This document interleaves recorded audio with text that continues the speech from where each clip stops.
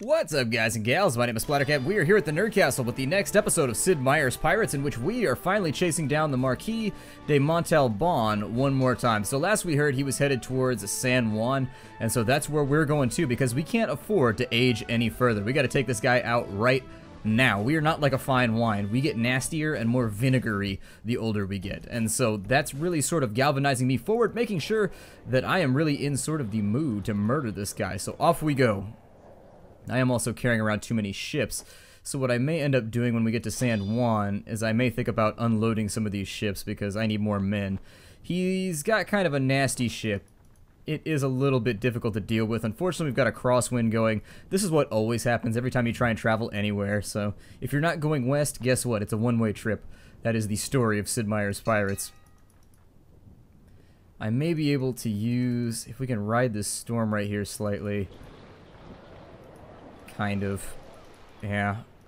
I mean, you can sometimes get a little bit of slingshot action going around. We still haven't been promoted to Spanish Admiral, weirdly enough. I've been beating up Dutch ships all along the way, and it just doesn't seem to be doing much for us, so I suppose that's life. It looks like the Dutch and the English are at war, the Spanish and the Dutch are still at war. Okay. And so the Spanish, in case you were wondering, Rio de la Hacha got taken back by the Spanish, so there is no longer a Dutch port down there. You have no options if you're trying to speak with the Dutch aside from Curacao down on the northern coast of South America.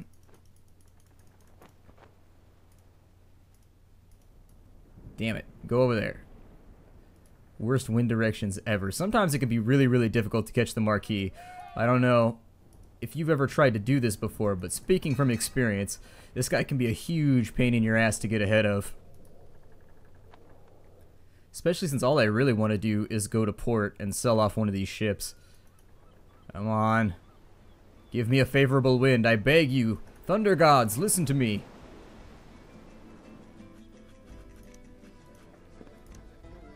Let's make sure that he's not already there. He's headed in the direction of San Juan. Okay, so he's not in San Juan yet, which is good.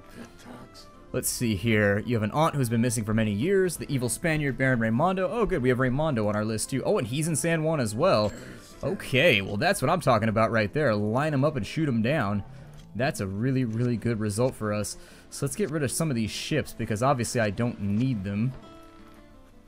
We'll go to the tavern, maybe grab a couple more guys to hang out on our ship just in case. Yeah, I stopped an invasion force off camera, but it's just one of those things that I did all by my lonesome. Let's see if maybe we can get a favorable wind long enough to get us down there. Essentially what I'm forced to do right now is I'm sailing sort of towards the shore, trying to get a decent line that will take me around this right here. There we go.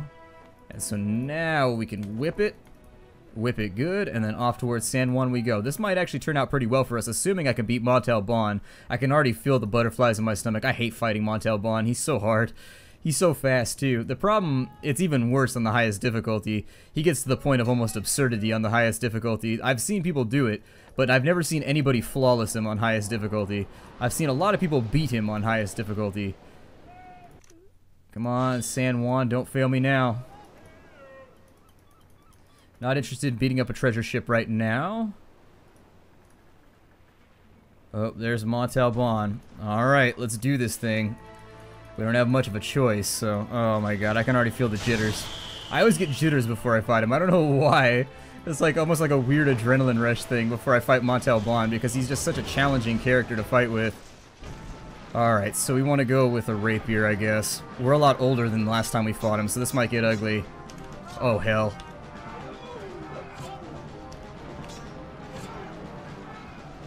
My goal here is to knock him back as far as possible. Oh, he got me. Oh, hell. Okay, so he's up the stairs now. You don't want to get trapped on the stairs with this guy. Oh my god, you do not.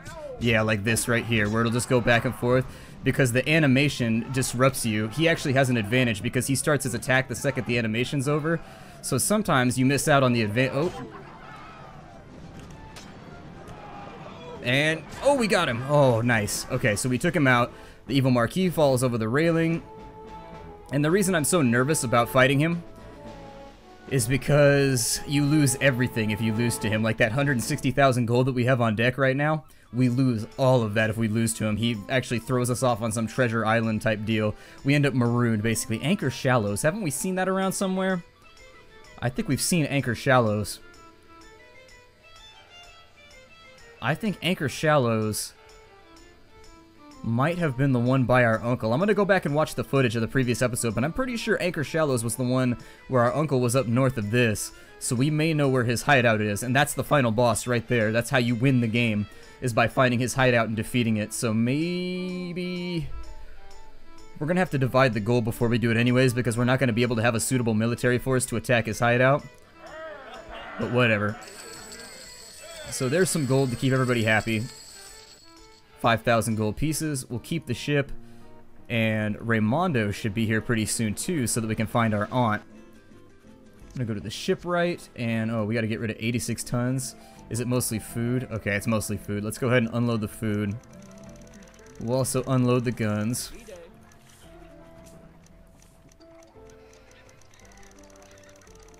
There we go. So now, God, I'm still... Whew, Fighting that guy can be really, really intense. Oh, he's selling for Caracas now. Okay, so while we're up here...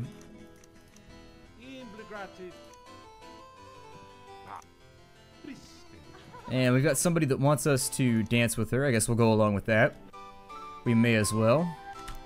Ooh, almost missed that one too. I think it's because we're getting older and so the game's getting more challenging. It's to take us a little bit more effort. Looks like they're all getting the dress from the same person. Although I'm thinking the only... It's weird. This time through we haven't had any really, really ridiculously attractive females in our playthrough. And I just mean that by what the game calls them. I'm not saying that as like a value judgment or anything. I'm just saying that the the really attractive females have not been in this playthrough. And I think they've majority have got to be French or something. The only one that we found so far I think was at Port de Paix or something like that. So we'll go up there and we'll see how that works out. Hmm, the Port de Paix makes me hungry. I like, oh hell. I corrected myself on accident, I shouldn't have.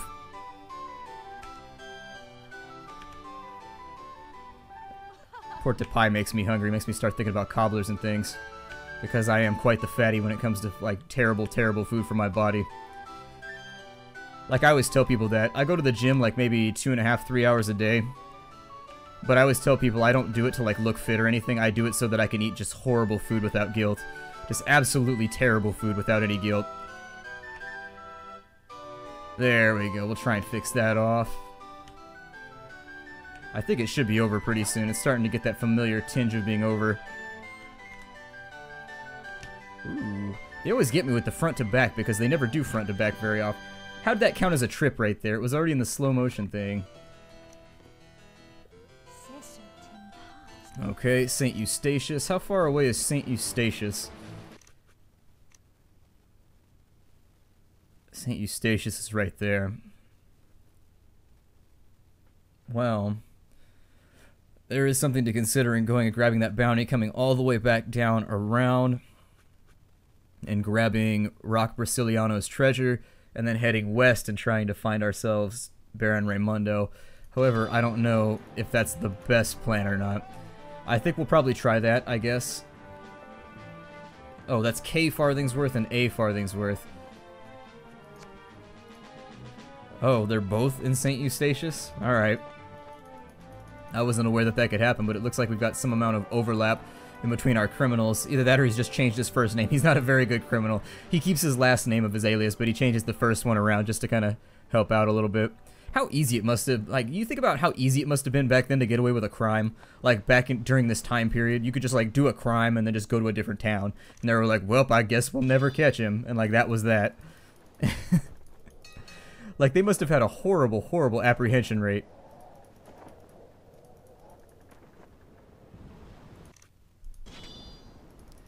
I think we can make it off to the east. Come on, make it happen. There we go. We've got a favorable wind for a second, and I think if I can make careful use of that storm, maybe? No, it's not going to let me have the storm. That's okay.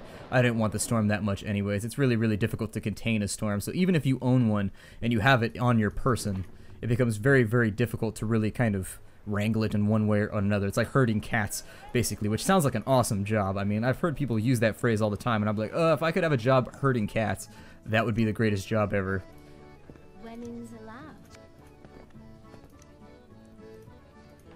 So he actually made it to Caracas already. That's bad.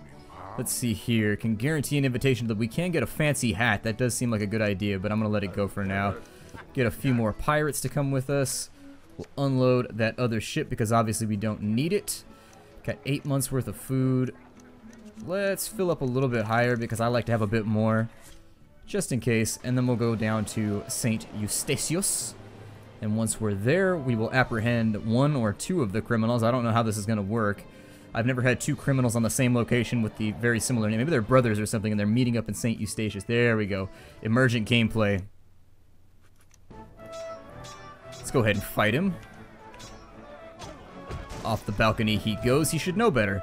Look at him and then look at us, although we will start to age pretty soon. If you take a look at our character, he'll start to grow a beard and like a bunch of other stuff pretty soon. His hair will start to gray out as you get older and older. I really, really do enjoy the aesthetic changes they made to the character as you age and everything, giving you that little bit of feedback. He wants to give us a shrunken head. No. You stand trial, you dick. So he won't... So since we can't do that, maybe if I go out and then I sail back... There we go. Oh, hell, I used the cutlass. I didn't mean to.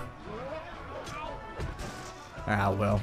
I guess all of our lasses will be cut before much longer. That thing looks really sinister. It's got like little jaggies and serrats and stuff on it. It's a little bit terrifying. It's a weapon that could deal some serious damage, like a crysknife.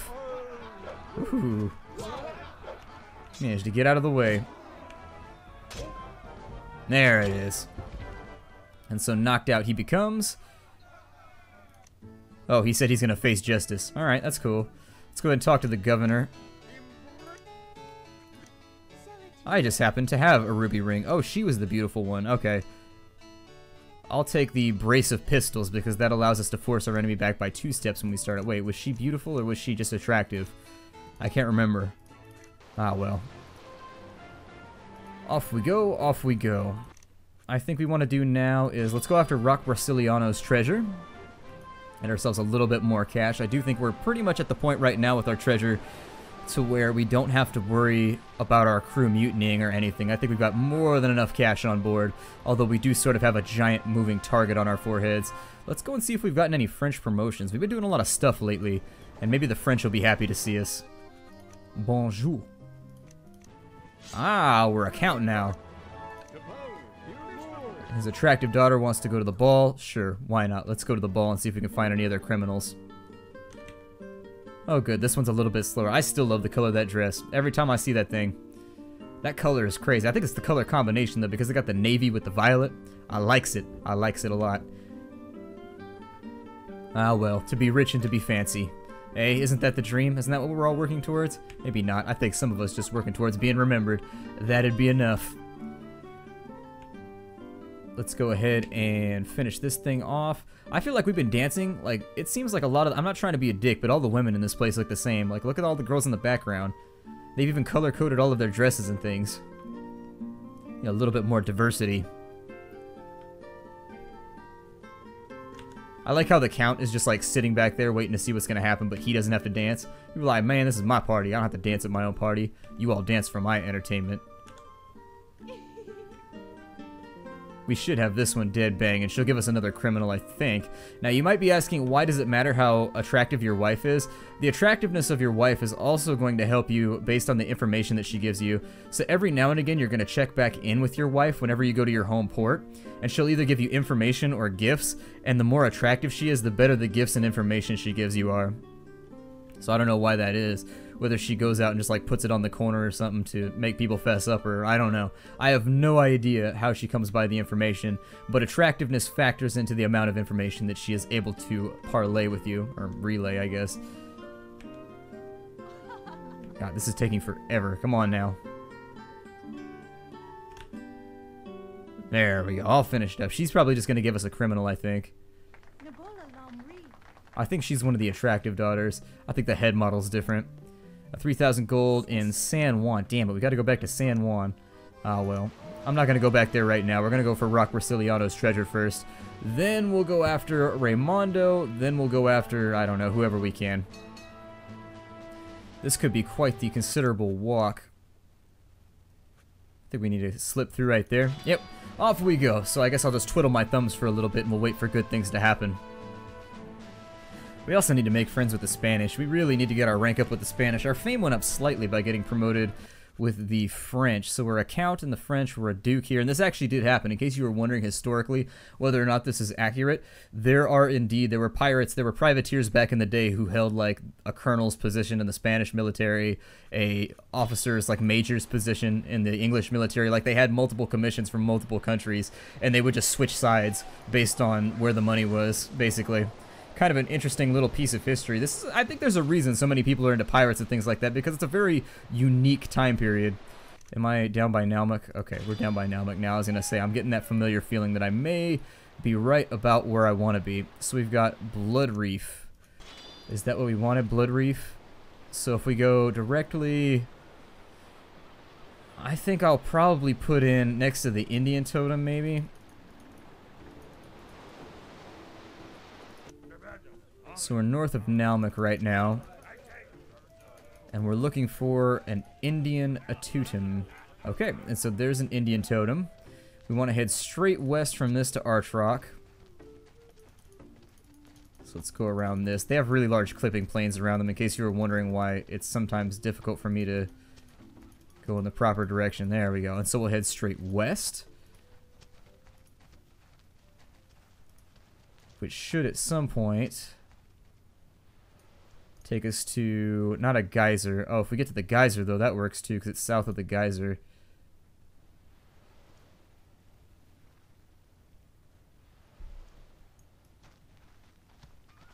So let's just go to the geyser, I guess. And time does pass while you're, like, standing still, I think. So you'll want to be careful about that, too. So the geyser's out here. We want to go south from the geyser now. There it is. You've got it off in the distance. Hopefully, I don't think Rock Brasiliano was that high on the list, so I think we're probably not going to get much out of this one, but it's worth hitting it so that we can unlock other ones.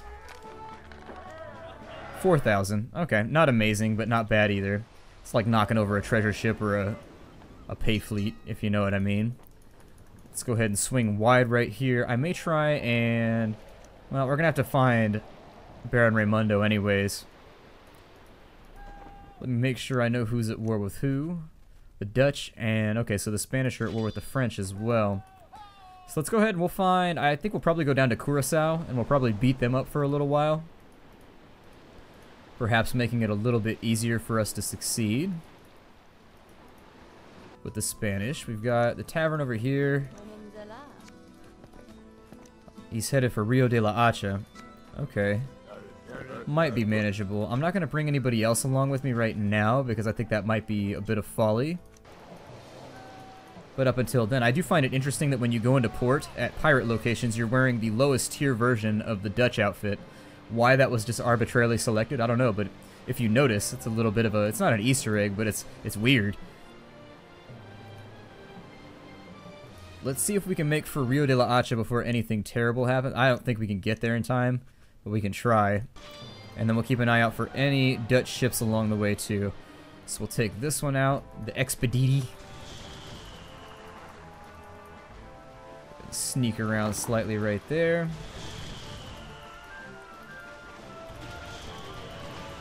Give him a volley. And that was a reasonably decent one. Not the best one I've ever fired, but ah, hell.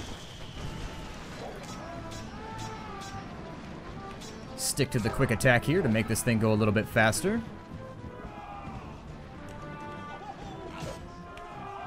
And off the ship he goes. A little bit of cash. He wasn't smuggling too much. Just Some basic kind of provisions and some random luxuries, so we might earn a little bit of cash off of that. You'll get the best cash for luxuries and things if you go to larger, more prosperous ports in general, although I have seen poorer ports paying quite a bit of money for luxuries too, so it sort of depends, I guess.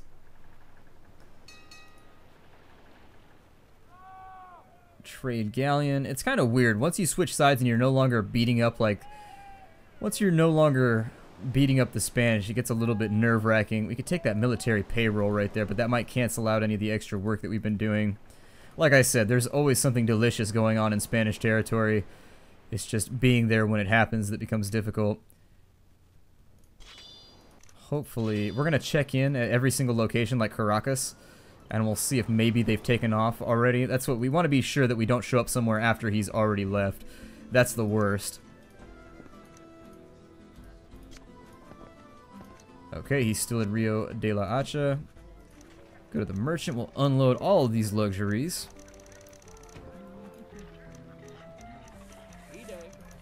I think we're like too high right there. No, never mind. We will divide later. I don't want to do that right now. I want to consult with the shipwright. We'll sell that off. And we'll be back out and away again for the last couple minutes. We've got a favorable wind. Things are looking like they're going in our direction for once. However, why do I have a British flag flying over my ship? I know you can change it. I think you go right here. Yeah. This, we'll swap this over to just like a pirate flag. That seems cool. There we go. So now we're flying a pirate flag. In other games, so for example in Age of Pirates 2, flying different flags confuses the enemy and it makes it so that ships might not run away from you. So let's say you're running a Spanish flag and you're trying to run up on a Spanish ship, they won't run away from you because they don't know you're a pirate and you can hail them and things like that and you can parlay with their captain and then kill them. Age of Pirates 2 is a pretty decent game, although it does have a lot of flaws. You've got to patch it up with some of the community patches, otherwise it's almost unplayable, but it is a good game. I played quite a bit of Age of Pirates. That's the that's where you go. After you finish Sid Meier's Pirates, you go play Age of Pirates because it's like a more complicated version of Sid Meier's Pirates but you're going to have to patch it up quite a bit before it becomes playable. Believe me there. The default version is not going to do it for you. You gotta. There's like a modded patch that somebody has done that adds in like a million different things. It's essentially like a mod pack, and it's it's really it's so much better than the base game. Where's this guy at? We got here after he left, didn't we? He's probably off to like San Juan or something again, which is fine because I've got a criminal to catch up there, but... Got to do what you got to do. We'll talk to the tavern keeper. Nombre de Dios. Oh, he's headed out further to the west. Okay.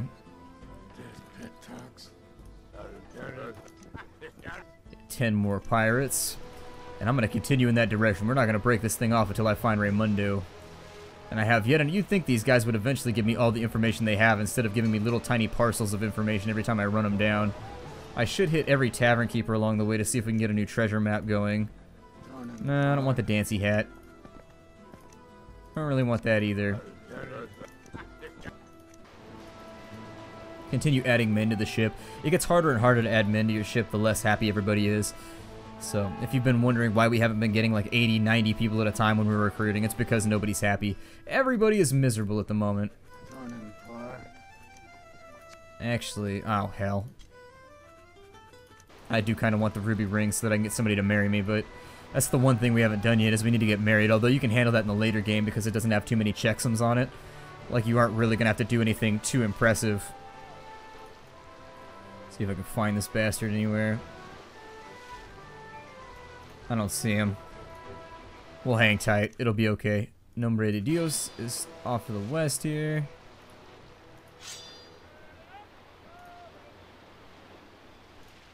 I don't see him, but I, I want him. I want to take him out right this second. So I would prefer to find... There he is, Raimondo. Wow, he fired at us from a really long ways away. That was a Hail Mary right there. On board Zethetus. This will be another 3,000 gold for the coffers.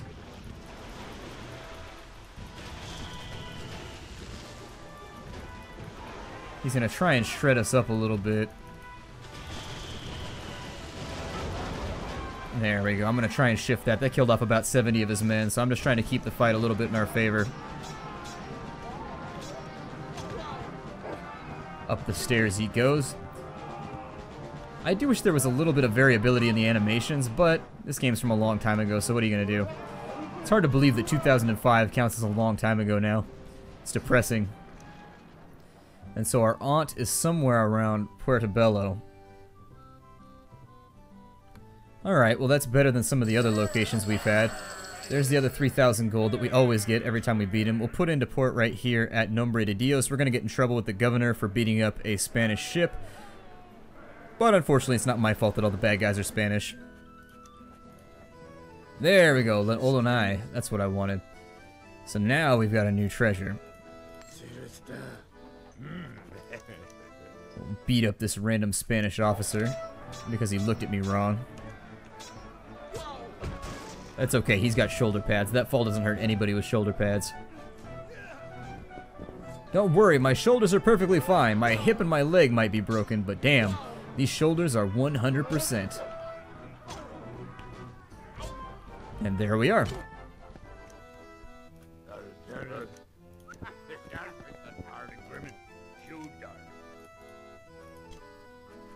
Okay, and now I think what I will do is we'll sell off some of this food and then we'll break off the episode. So my name is Splattercat. Thank you for joining me here in the Nerd Castle for another episode of Sid Meier's Pirates. I look forward to seeing all of you in the next episode. Take care out there, everybody, and as always, ar and hi do.